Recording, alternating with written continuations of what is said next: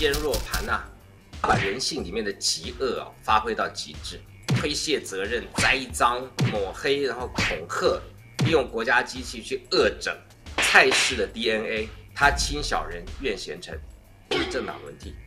台湾人，尤其年轻人，你恐怕要上战场，你的性命堪忧啊！两个蠢，这个首脑是一个骗子，他周边做的全是骗子的时候，那你看这个国家会变成什么样子？他把中华民国经营成饭店，问题大了。那几个笨蛋，我放眼望去，没有一个要学识没学识，要人品没人品，要经验没经验。泰安危机啊，温水煮青蛙。台湾是最好勒索的国家，你不觉得这个荒唐吗？台湾真的没有前途，下架民进党。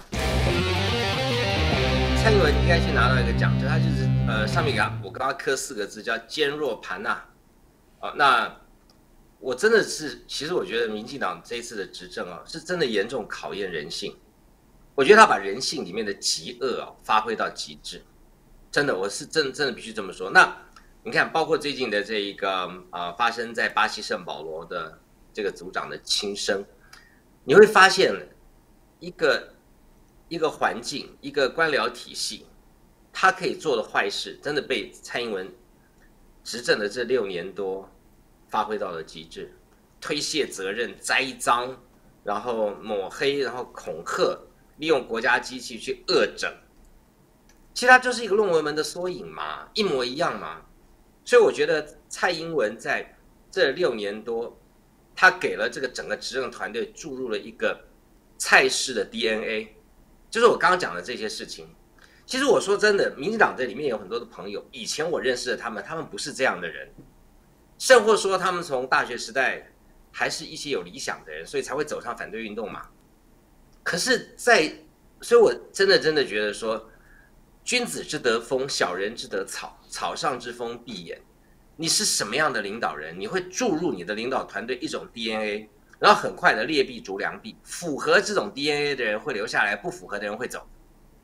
然后在这里面呢，就会变成大家呃东施效颦，开始做这个逆向的循环，造就了这整个办公室的文化就这样形成的，一个国家的文化，一个内阁的文化就这样形成的。因为我重用小人，啊，所以出师表说亲贤臣，怨小人嘛。那今天刚好，我觉得蔡英文的这。六年多最大的问题就是，他亲小人怨贤臣，把这整个台湾的这个政治环境可以发挥到极致的恶，被他发挥到淋漓尽致。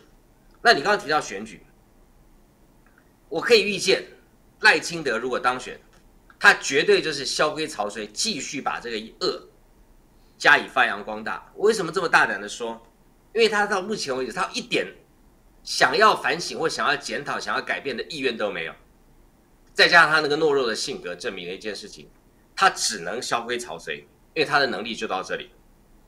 好，所以我是完全不看好民进党如果继续执政会给台湾带来任何的改变。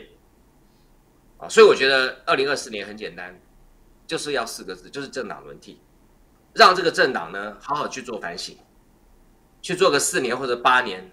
让他们去尝尝在野的滋味，然后去十年生聚，十年教训，不然的话，我觉得台湾人，尤其年轻人，你恐怕要上战场，你的性命堪忧啊！我觉得这张照片暴露了蔡英文跟他团队的两个蠢。第一个蠢就是说，如果你真正是国安会议，这里面没有一个人懂国安嘛？我看过去，顾立雄、黄崇彦戴那个口罩是不是林鹤鸣？看不太清楚，这里面没有一个。是军方出身的，没有，完全没有。那你说国家安全不需要军方？那请问你他是在在干嘛？在在部署逃亡路线吗？这是第一个蠢。第二个蠢就是说，像这样的画面，他把它留出来，也许他们这个画面只是做公关好玩的，就是跟老百姓说，我这个还是有在上班嘛。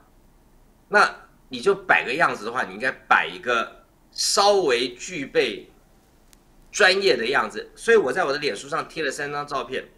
你去看看奥巴马时代的国安会议长什么样子，你去看看川普时代，看看拜登时代的国安会议长什么样子，里面都有穿那个军服的这个军人，大概都是大概都是军总司令或者是啊参谋首长联席会议主席，的层次去参加的。就你看这几个人，这几个人呢，基本上都是弱不禁风的文人嘛。那好啊，你说我今天国安会议没有啊？我只是在讨论说要怎么样让这个呃通缉犯落网，所以不需要军方，可以啊。那你照你这样讲的话，你就不要告诉大家说你在进行什么国安会议简报。所以我说这这个图片就是显示了两个很蠢的事情。而这种事情，坦白讲了，我说真的，以前国民党执政或者阿扁执政的时候，不会犯这么多这么蠢的错误。归根究底，还是领导人蠢呐，没有办法。所以我常常看到这个民进党这个执政团队哦，这六年真的是把能够犯的错犯到了极致。我担心的是，这样的团队习惯了以后，将来如果赖清德当总统。数数来数去，还又是同一批人坐在这里，那台湾怎么办？这是我最担心的事情。如果政这个这个政党轮替，他们要活下来的机会趋近于零了。好，还有张敦涵嘛？你看这一眼看过去，八个里面有四个，还有蔡英文是我被告。这些人如果就算政党不轮替啦，法院的体系也会轮替嘛？台湾不轮替，美国也会轮替吧？美国不轮替，英国也会轮替吧？所以我说这些人。就是我的被告一字排开，那这些人有什么共同的特色呢？就是帮助蔡英文去掩饰他的假学历，然后成为他们的灯笼之术。所以，当一个集团这个首脑是一个骗子，然后周边做的全是骗子的时候，那你看这个国家会变成什么样子？所以外交官会这样子去霸凌别人吗？然后台湾的这个走私香烟的人可以变成这个呃六星上将吗？所以我说，蔡英文执政真的是把人性之恶啊，他把中华民国经营成勒马饭店，这真的是我觉得是一个天佑台湾了。我觉得这对台湾来讲真是一个非常糟糕的。有很多东西，尤其是文化是回不来的啊，不是说这几年过去就算了，都是回不来的。就是我们每天在呛这个中国大陆，你要考虑一下，是人家靠你还是你要靠人家？我觉得这件事情，我们先不要考虑什么。红啊，蓝啊，绿啊，你先去想想，你要去呛他，你要去，你要去这个挑衅他，是他要靠你，还是你要靠他？这件事情要先想清楚。二零二二年，台湾对中国大陆的贸易顺差是一千五百六十五亿美金，是五兆台币。是你占人家便宜，还是人家占你便宜啦？我们先不要谈什么共产党、国民党、民进党，或者是什么意识形态、什么三民主义统一中国、杀猪拔毛，你不要去考虑这个问题，你先去看看眼前的现实。人家是你的衣食父母，还是你是人家的衣食父母啦？就你搞清楚态势。那再来就是说，呃，我我们每次去惹人家，惹完以后有什么好处？这要算盘要算一算嘛，对不对？你说今天我们当年李登辉时代就挨了两个空包弹，啊，但是我们换来什么？我们换来一个不能妥协的民主嘛，就是我们总统要直选嘛。你你要吓我，我还是要直选。你你要怎么弄？反正。这对台湾的民主进程是一个既定的路，所以我们决定总统直选。你要恐吓我，我们就是虽千万人吾往矣。可是你去看看民进党执政这几年，当每次中国对台湾文攻武吓，文攻就不用讲了，文攻是常态，武吓都是什么？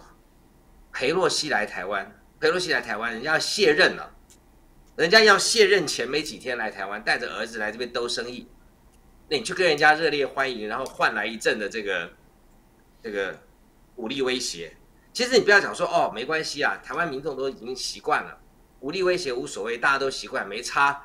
海峡中线就中线，跨越就跨越，然后头上飞这飞弹没有关系，反正没有落下来。问题大了，我告诉你，这个就是国安会议要开的问题，就是那个几个笨蛋，那几个笨蛋我放眼望去，没有一个要学识没学识，要人品没人品，要经验没经验。顾立雄从头到尾就是一个律师嘛，对不对？就是一个那个那个 bloody lawyer 嘛，就是那个就是那个炸人血不不不眨眼的那种商业律师。那你再去看看黄崇彦、张敦涵，那个要书要书书书又念不好，然后这个事也没做成，在民进党内也没有什么资历，就只是因为帮忙论文门护航，包括整个万国法律事务所。的顾立雄，这些人的共同点就是帮他简单讲起来，不是国安危机啊，是蔡安危机啊，帮他解除蔡英文的危机，所以一个个鸡犬升天然后！你看，很简单嘛，肖美琴做了啥事？最近曾淼红博士还在起肖美琴的底。肖美琴是台南新化高中毕业，因为书不会念，所以父母亲呢，因为妈妈是是美国人，所以就把她送到美国去念一个 City College，大字不是几个，只是因为会讲英文，妈妈会是是美国人，所以就变成今天驻美大使，一天的外交官都没当过。所以蔡集团把专业践踏到无以复加，所以外交官才会没有办法接受自己辛辛苦苦考外交特考，从这个小职员一路爬爬爬爬到后来，结果被这些。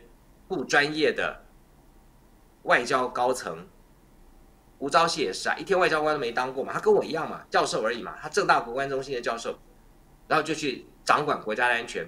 你看看刚才那个所谓的国安会议里面，没有一个人像样的，没有一个人像人样啊。现在这个排出来这这个也是，他们的共同点就是他们都是论文门的共犯。除此之外，你真的找不到。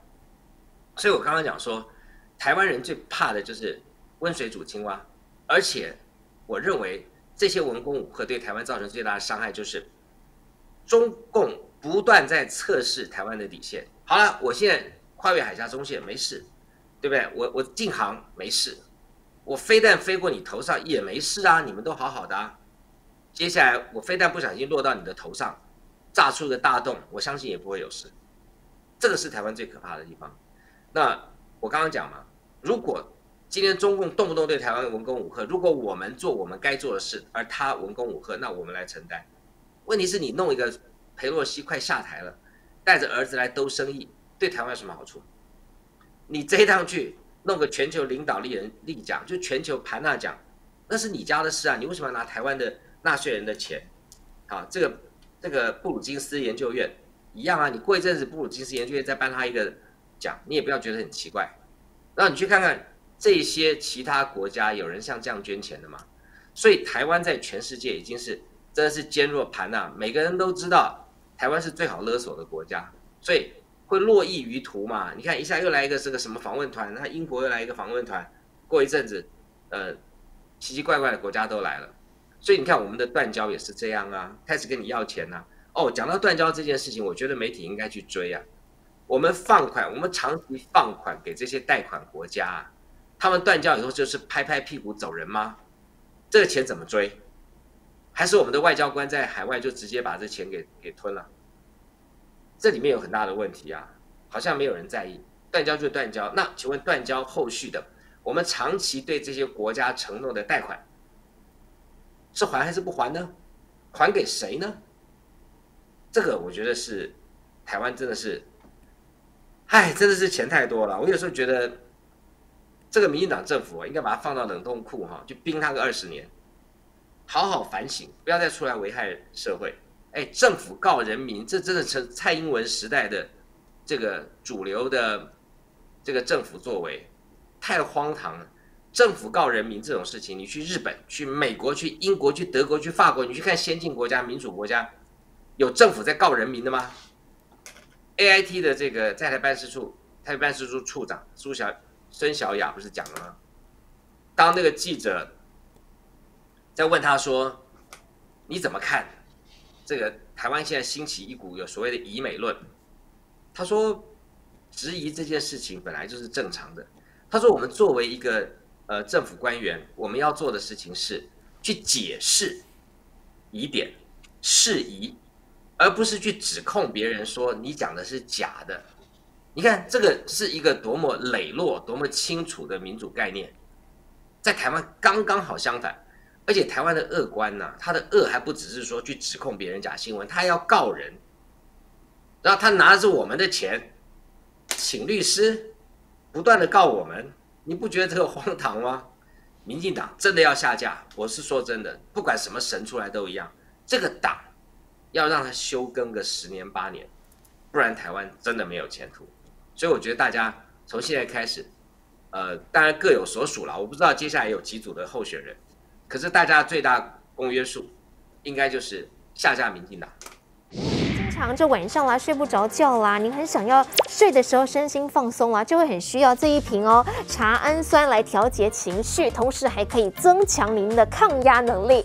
现在下定的话，记得打上我的这个折扣码 C T I 七一七，若鱼帮你来打折。